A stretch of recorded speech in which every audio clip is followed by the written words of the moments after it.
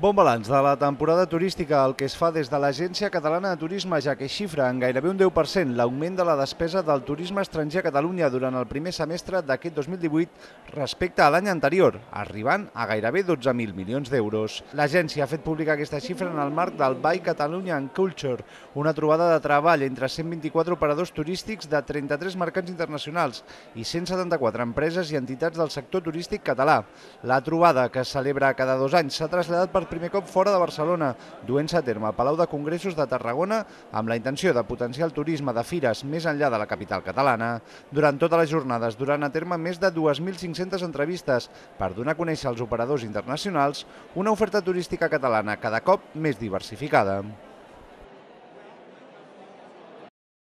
Una de les, dels reptes que tenim per encarar el turisme de cara al futur el basem en, quatre, amb el que en diem les 4 Ds. 4 Ds que impliquin major despesa,